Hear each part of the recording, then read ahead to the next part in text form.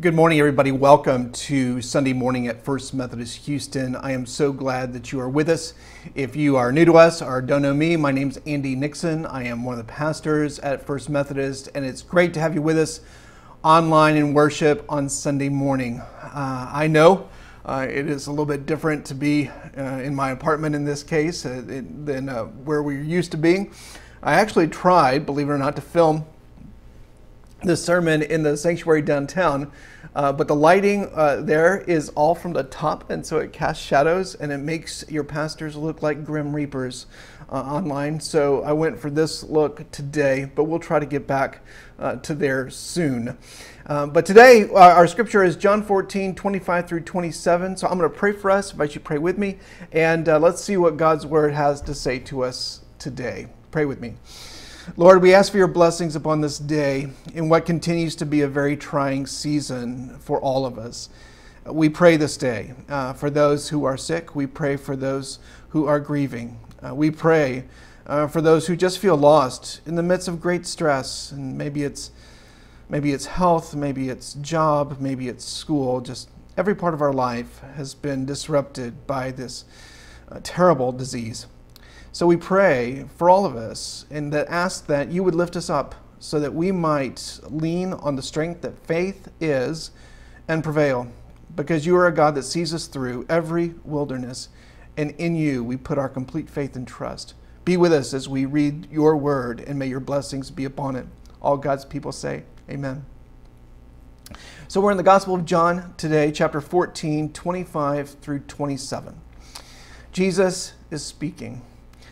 All this I have spoken while still with you, but the advocate, the Holy Spirit, whom the Father will send in my name, will teach you all things and remind you of everything that I have said to you. Peace I leave with you, my peace I give you. I do not give to you as the world gives.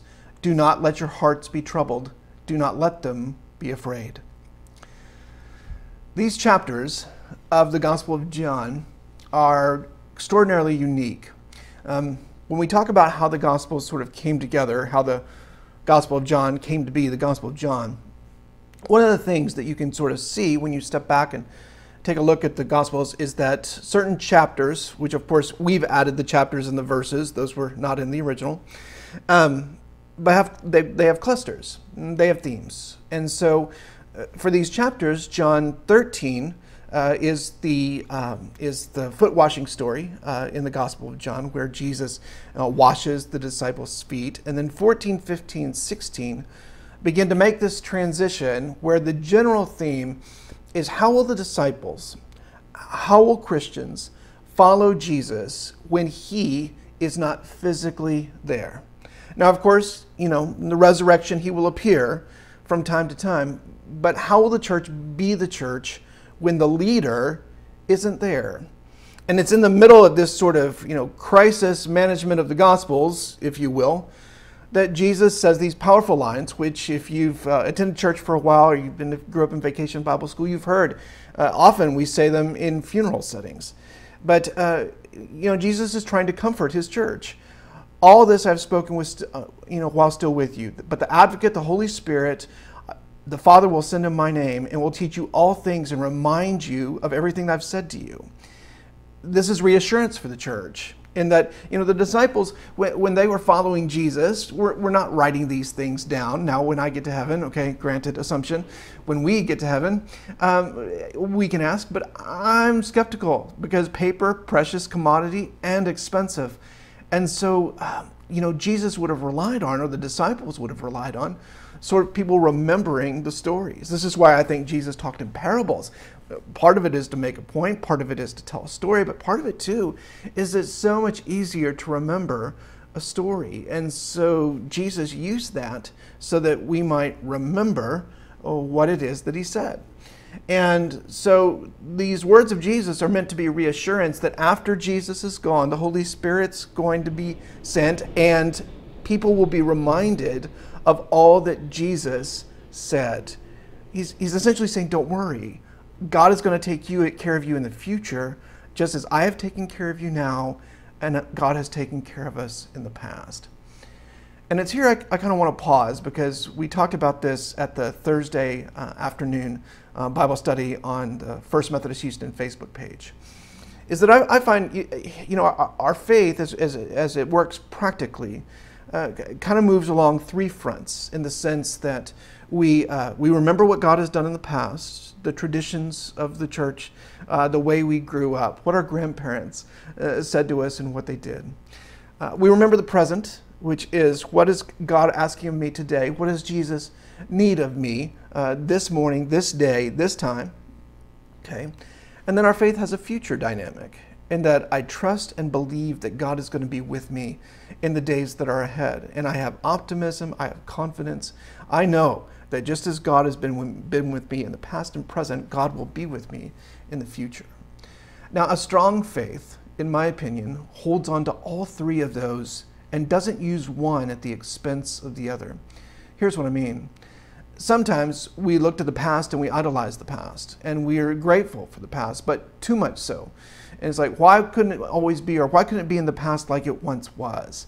And there's some nostalgia there. I understand that. The older I get, the more I look back, and uh, I uh, uh, can't wonder if all this progress is really uh, progress at all. I was talking with my kids the other day, and telling them that I remember when televisions uh, had knobs and you had to actually go to the television, turn it on, and you had three choices as to which channel uh, you wanted to watch. And now, I mean, we have hundreds of channels, and the irony is, with nothing to watch, um, with sports being gone, we are reduced uh, to watching cornhole.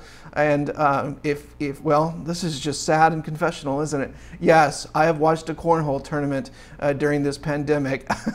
out of sheer and utter boredom. Uh, maybe we just need to pause so I can confess that sin right now.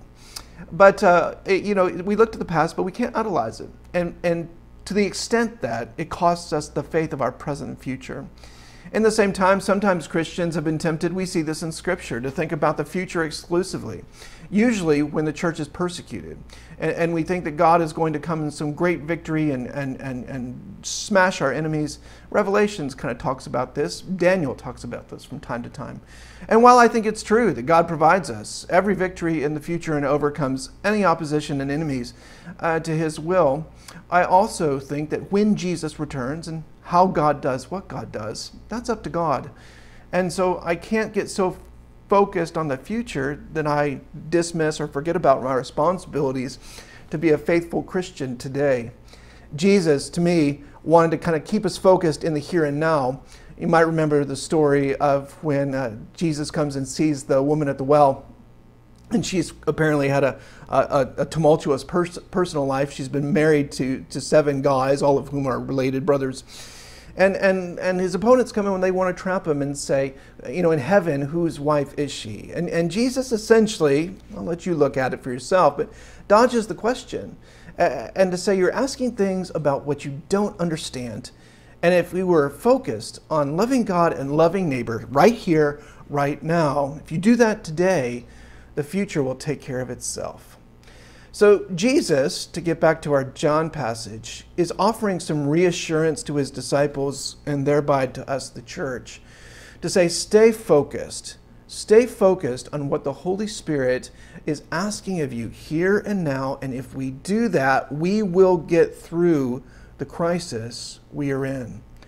All this I have spoken while still with you, Jesus said, but the advocate, the Holy Spirit, whom the Father will send in my name, will teach you all things and remind you of everything I have said to you. Jesus will be with us in the here and now. And even though events may get tough, the difficulty of those events never eclipses the power and the strength of God and faith.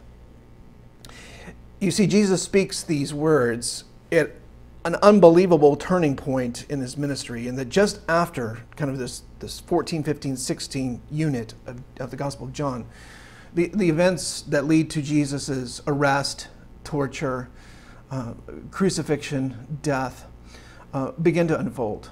And so the disciples are going to be in a time where they are afraid, and their leader is no more. And we might want to pause and, and think about this because we too, right now, are in a trying time. And we might ask, where, where is Jesus in the midst of all this suffering? And, uh, you know, the other day I mentioned this on a, on a devotional. It's like I went to get my haircut. It was sort of my first outing uh, to kind of do a normal kind of thing other than the grocery store. And uh, uh it, was it was just bizarre I go to the front door and there, there's this sign that says, "Do not touch the door. Do not touch the handle." And so the, the way you got in is I got the attention of, of the of the people inside, and he immediately comes out and says hello, and he's in a mask. Of course, I'm in a mask, and and um, and then he's got a big bottle of hand sanitizer, and he puts it in my hand and washes the hands, and, and then we go in, and everybody's in masks in this barbershop getting a haircut, and it's just it looks all so normal but it's also also wrong and that it's just not how it used to be. And the disciples are in an exponentially worse version of the same dynamic in that when their leader goes down, when he's arrested, when he's tortured, and they would have heard about this. Jerusalem, I mean, it's a city, but not by our standards. This is this is this is a pretty small place as they hear what is happening to him, they hear about his trial, it is going to be very easy for them to crater. In fact, Peter does, denying that he even knows Jesus three times. So Jesus is trying to put this strong word of confidence into his followers because he knows how difficult the situation is about to be. And he does not want this early, early church to collapse in the midst of this great weight and trial that it's about to be under. Now, here we might want to pause because we're in a somewhat similar time and we know the same dynamic. Um, it's not to this scale in our lives, perhaps, but you know, I'm a, I'm a little bit of a student of the Civil War, as you may know, and, and I actually went to Washington and Lee University uh, to do my undergraduate work, and it's just uh, the Civil War and I have, have, have spent a lot of time together. And um, there, there, are many stories because the Civil War in 1861, 1865, it started off sort of as a European war, traditional one, but then it became really a precursor to almost World War I, trench warfare. And it was brutal. It was just brutal. Uh, uh, the weapons were crude, and, and the suffering was just horrid. And, uh, the state of Mississippi, uh, right after the war, spent half of its budget on artificial limbs because so many of its, uh, of its citizens were maimed by this, this horrible conflict. But there are all sorts of stories, though, of leading the charge over the trench in a variety of battles, and all of a sudden something happens, and the leader of the unit, the leader of the, the brigade, the leader goes down, shot, wounded, killed, and all of a sudden the rest of the troop, it's just a wave of fear overcomes them, and they just fall back, retreat, running far back, you know, behind their original lines over and over. I mean, there's just countless stories of Civil War battles like this because when a leader does go down, it affects the rest of us. If you've been on a sports team and maybe you know the person who's the best athlete of your bunch uh, they're injured and all of a sudden they're on the bench they're not where they're supposed to be it sends a little bit of a shockwave through the whole team and the question becomes are you am i are we going to step up and are we even capable of stepping up in such a way that replaces the one that we have lost albeit maybe temporarily it's a tough thing when the person that we look to to lead goes down. And so Jesus is speaking to this dynamic among his team. And he's saying, he's saying to them a couple of things. Uh, in the midst of this crisis, in the midst of the suffering that he's about to undergo, he says this, and starting in verse 27 Peace I leave with you, my peace I give to you. He wants his people, he wants his followers to be at ease, even in the midst of unbelievable suffering and fear. He wants his people to be at ease. Peace I leave with you, peace I give to you. Then he says this I do not give to you as the world gives. This is typical Jesus. And, and, and this is one of those phrases where it, it, he's, he's inviting us to ask a second question almost. I do not give to you as the world gives. Well, then, how do you give to us? And I think he wants us to find the answer in what he's saying, I think, here is, I do not give to as the world gives, because anything the world gives us is going to fade, it's going to tarnish, it's going to pass away. it's as if, you know, I, I eat a meal, but then I'm only going to be hungry uh, hours again later, certainly the next day. And, and so what Jesus gives to us, he's alluding to here, I think is permanence. And so, peace I leave with you, peace I give to you. I do not give to you as the world gives. In other words, this peace that he offers us is something that can withstand any trial. And then he says this in the last line Do not let your hearts be troubled, and do not be afraid. Powerful encouragement, strength, conviction that we as Christians have. Again, not by our own merit but we have these things because the Holy Spirit comes from God and gives us to Him. And so here's kind of a, a, second question for us to consider. I talked about how our, our faith kind of has a dynamic of the past, the present, the future, and I think as, as good Methodist Christians, we hold on to all three of those because they all three have power and strength, and we don't use one at the expense of the other. But also, you know, we talk about God in a, in a Trinitarian kind of way. We say Father, Son, and Spirit. And sometimes I find uh, that God the Father, we get, we've all had a father figure in our lives, so that comes naturally to us. God the Son, we understand because we read about Jesus in the Gospels. He's a person, he's a, he's a, he's a character, he's a man, it's somebody we can hold on to. He lived, he, he spoke, he taught. Um, and so we can, we can grasp that. But then this Holy Spirit, mm, maybe that's a little difficult for us. I don't know. And I, I would encourage you, if you've not kind of delved into the Holy Spirit, maybe, maybe it's time. Sometimes, you know, I try to translate it into a little bit different language because, especially for people who didn't grow up in the church, the Holy Spirit kind of sounds like a strange phrase. And sometimes I call it it's God in real time and that you know god christ is going to show up he's resurrected the spirit is going to move and so we should see and we should feel and we should know that god is with us and we should uh, look for opportunities for God to call us and to represent the gospel uh, in, in, every single moment. And when we do that, I think what we're becoming is a spirit filled Christian. So Jesus is saying the Holy Spirit is going to be sent by God the Father, and one of the fruits of that will be an a feeling of certainty and peace that overcomes fear. Now, to say a little bit more maybe about that, I don't think Jesus is saying that we will never feel afraid. You know, as the disciples go through the events of, of Calvary, the crucifixion and death of Jesus, I think they certainly felt the fear.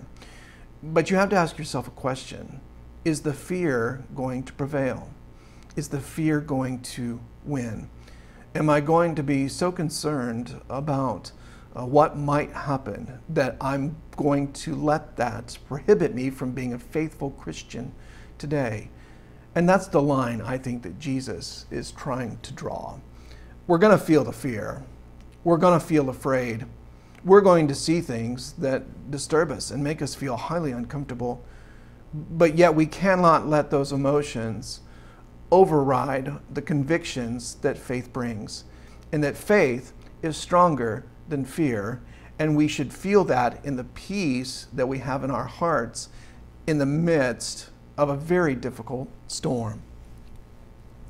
I probably don't need to do a whole lot of preaching to kind of say this how this might apply to us today uh, because we are all in a storm. And uh, i've said this before because i think it's the best line uh, i've heard to kind of describe our time no matter how we've been affected by the virus. And uh, we've had a couple of our folks at first methodist who've gotten sick by it. Uh, we've had one that passed away uh, because of it. But um, and so in, in that regards numerically our congregation has not, you know, it's, it's just we haven't seen a whole lot of the disease, praise be to God. But even if I'm somebody who's not gotten sick, my whole life has been touched by this. Uh, you know, my kids, my, my kids in school, uh, my job, uh, the, the, the places that I go, all of our life has just been a bit of a whirlwind and where we, we, used to have walked with clarity and known uh, what we would probably do on any given day, all of a sudden we have found ourselves shut in, literally. And, uh, and that's disturbing. Every single part of our life ha- has been somewhat touched by chaos. And yet Jesus speaks to moments like this when he says he gives us peace So even though we feel the storm, we don't let the storm become us. And then he gives us this great line, which I think is just flat worth memorizing Do not let your hearts be troubled, and do not let them be afraid. I would hope that maybe you and I would memorize that verse today. Because if you and I were to repeat it at the right time, then I think that could greatly draw us closer to Christ and give us the strength we need. Do not let your hearts be troubled. Do not let them be afraid. You and I at some point have to make a decision as to whether or not, uh, you know, what is evil uh, what is broken, what is sinful, is going to rule our hearts? And the answer has to be no, it can't. Do not let your hearts be troubled. Do not be afraid. And so maybe uh, we step out and maybe we uh, say, you know what, uh, we're going to find a way uh, to make it through us. We may not know exactly what that way is, but we're going to make it and we are going to win. Do not let your hearts be troubled. Do not be afraid. Uh, I have to say, just, just in all candor, there have not have been a lot of times uh, that I've felt fear. Um, there have been a few. Uh, I remember when I lived in New England, uh, you would uh, go driving in the winter and you'd be in a snowstorm and you'd hit a patch of ice, and then all of a sudden uh, you'd find yourself headed in a direction that you did not choose to go. And, and all there is is a chance to react and, and pray that God somehow uh, straightened your course. And sometimes that happens, and so, a couple of times I ended up in the ditch. But the difference between a situation like that and the one we're in is, is the length of time. And that this is what almost been three months. And, and yet, um, I think it's important for us to remit, repeat to ourselves, maybe on a daily basis, maybe on an hourly basis, just how true this is. Do not let your hearts be troubled. Do not be afraid. And what we're saying is we're letting the peace of Christ be stronger than the fear. So, my prayer is that's true for you today, and it's true for me. Because as we do, um, I think that can just bring us great comfort in the sense that God is with us, and even though the storm is coming and we're in the middle of it, we will prevail.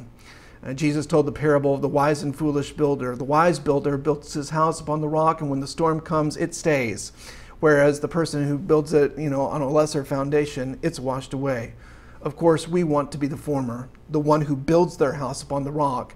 And the way we can do that is by being to the open to the Holy Spirit coming into our lives. Let God move in you in a powerful way so that we feel God's peace, we feel God's love, we feel God's joy. And when we do that, all of a sudden we find our heart is not disturbed at all, but calm, and we are not afraid. Pray with me. Jesus, we thank you for today, and we thank you for the gift of this time together in your word.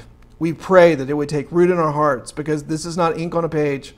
It is meant to be incorporated into us so that we might live fully and completely in your name. We thank you for the gift that you are, Jesus, and ask that you would continue to speak to us. Help us to know that you want to reach out to us in real time and be with us, to give us a word, show us the way, so that we might know you are right by our side.